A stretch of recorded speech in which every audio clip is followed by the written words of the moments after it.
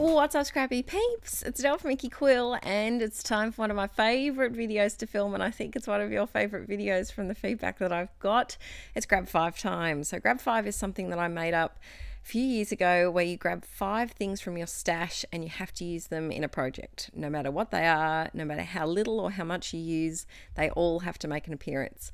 And I found that by limiting myself, not limiting myself, you can use other things, of course, but by focusing on five things, it really helped me get some layouts done and not get lost in my stash because it's very easy to do. So today I'm using some chipboard, some 12 by 12 chipboard, uh, word thickers, a stencil, some ribbon and trim, and rubbery, chunky embellishments. So I have this little container and it's got all sorts of uh, rubber charms and bits and pieces from various collections, and it's something that I don't I don't often reach for, I don't often rifle through, so I thought it'd be perfect for uh, this layout. So this is a little bit of mixed media, just some very simple, basic mixed media and a pattern paper background on a 9 by 12 layout. So two things that I have slowly been becoming, um, from when I started scrapbooking, I didn't do either of these things, and now I'm introducing it much more in my um, process, and I'm, I'm liking it. So I've got a, a, multiple photo layout today, and one thing that I love about uh, multiple photo layouts that are photos from the same, like a same moment, I guess you could say, like different facial expressions from the same little moment captured. I love to do these giant photo strips, like faux photo strip. So I just matted my photos on uh, some polka dot paper. I thought the white would pop really well against the wood grain background. I picked the wood grain because the photos were very um, kind of neutrally coloured except for the pop of blue of Archer's uh, jumper. And so I thought the brown would be a good neutral colour to, to add to the photos. So here I'm using a makeup sponge and I've sped this up very, very fast. I don't sponge this quickly. I wish I did. It would make life a lot quicker when I was scrapbooking. Um, but I've sped this up like six times fast so that you don't have to watch 10 minutes of me struggling to get the uh, paint onto this page. My trick for stenciling, because I do get a lot of questions about it, is to dab the paint off on a surface first. So if you get the paint out of the, the jar, the container, whatever it is, then dab it onto um, either a, like a plastic plate or something you can easily wipe off or throw away. And the your your sponge needs to be not gloopy with paint. Uh, it almost seems like there's no paint left on it and it's not going to work, but it does. It's all sucked up in there uh, in the sponge. And I just use a pack of cheap uh, makeup sponges from my local $2 shop. And here I wanted to make the hearts pop a little bit. So I've just grabbed my white Uniball Signo Broad gel pen, which is the white gel pen that I always use. So if you ever see it in a video and I don't mention it, that's what it is.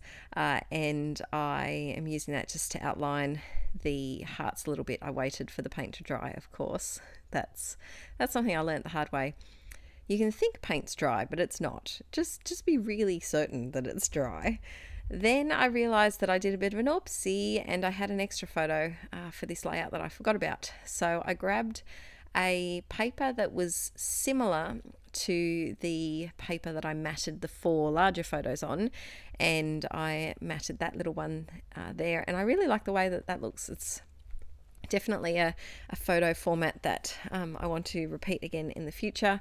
And I just wanted to maybe add a little extra pop to this photo. So I'm having a look through my scraps of blue paper and trying to find something that um, might work. This is a, a scrap from an old Inkie Patreon printable, and I'm seeing if the blue will work. I don't really have enough to properly mat it, so I'm just kind of working with what I've got and putting a little bit here.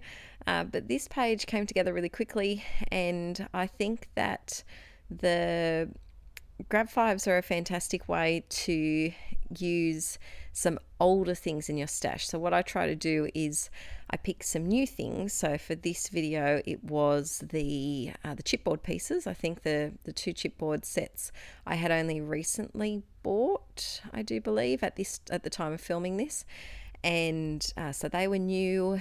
Um, and then the little container of rubbery things that I constantly uh, avoid using, and um, I just I just don't reach for them. That was old, and some of the words that I was looking at were also oh, old.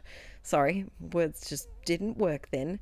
Um, and ribbon, ribbon is something that I I've never use on scrapbook pages. Um, I think I came into scrapbooking after ribbon was very very popular, and um, so a lot of the first pages that I saw for inspiration didn't use it at that time. Uh, and so it's not something that I have a great stash of. I think some of this came, some of it came in a kit, and then the rest of it I think is leftover from my Christmas gift wrapping. Um, and it's a piece, you know, when you have a really nice piece of ribbon or a really nice piece of trim, and it's too pretty to throw away, but it's not big enough to wrap a present or anything with. That's where I, my most of my ribbon collection comes from. It's those little offcuts that we used for a separate purpose, um, but yeah, just didn't quite uh, make it to the gift wrapping section, and, and, and otherwise wound up in my craft room, just hanging out there, not getting used. Pom pom trim. Mm, let me know your thoughts on it. I have a bit of a love hate relationship with it, to be honest. I love the look of it. I love its playfulness and it's cute and pom pommy. But my goodness, is it hard to stick down? Uh, it's annoying. It's it's rather annoying to stick down. So let me know if you use it in your scrapping, um, because I'd be interested to know if anyone else also has a love hate relationship with it because yeah it's i think that's another reason why i don't reach for ribbon because i quite often have a bit of trouble adhering it to my pages or um, it becomes a bit bulky in my plastic page protectors. I think i do end up maybe it could be after i finish filming um, but i do end up uh, stapling the ends there just to really secure it down added my title, Yay Today, and um, just in that little spot there, I just wanted a small title that could kind of cr- creep into that little nook in the corner because the hearts were such a bold statement in the background at the top. Going through and trying to figure out what rubber charms that I could use. I use that happiness one, and I'm just sticking these down with wet glue. Um, I know that I have had issues in the past. I, I, I don't know what glue it was oh, it could have been that Helmar something or other with a number. I don't know what it was, but one glue I used kind of melted the rubber a little bit.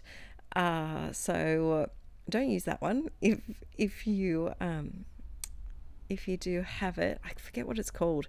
And then I've used double sided tape before as well, and they have just completely popped off straight away.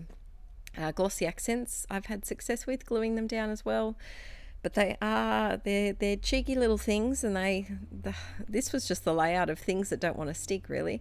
Uh, combined with the pom pom trim, we're just heading for disaster. But nevertheless, it's part of the Grab Five challenge, and I'm I'm going to give it my best. Um, so we're currently I'm filming a little bit ahead, but this video is coming out in June. Hopefully, we're in June right now, and I'm really hoping to have one live stream in June. If I am, it may have already been announced, possibly. If it hasn't, uh, make sure you keep an eye on my Facebook page or my Inkie Quill Facebook, my Inkie Quill Insta, or here on YouTube. I'll do a post um, when I have the date. I've just got to figure out what I can't fig- I can't plan it yet because I'm currently filming this in May, uh, the start of May, and so I'm not quite sure where I'll be and what dates are free. Uh, so I'm hoping to do a live stream in June, hopefully. I'm adding a few little bits and pieces here, a couple of journaling uh, little pieces on that label. And then I had this blue heart, I think was left over from a card making video that I made on Patreon, and it had just been hanging around because I, I made a heap of these little hearts and uh, then I never did. Uh, I I used them all except for maybe two, and um, they were just hanging around. So it's nice to get those used up. Added a little roller date stamp down the bottom here and the layout is complete. I hope you enjoyed this page. I did use all the things, didn't I? Stencil, ribbon, chip. Did I use chipboard? Did I forget the chipboard? Did I break my own grab five rule? Oh my goodness, I did. There's no chipboard there, is there? okay, well, this is kind of a grab four video. I'm really sorry I forgot the chipboard. Ah! All right, guys, I'll see you in the next video. Bye.